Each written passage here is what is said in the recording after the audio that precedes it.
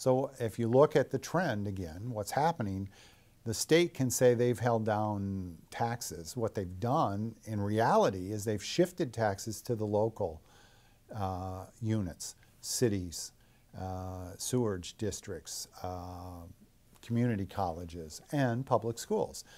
So in Richfield this fall, we're going to uh, ask our public if they're, if they're willing on an average size home to raise their taxes by $10 a month. And if they are, then we will avoid these massive cuts for the next two years. Um, if they're not, then well, the, the only recourse we have is to continue reducing.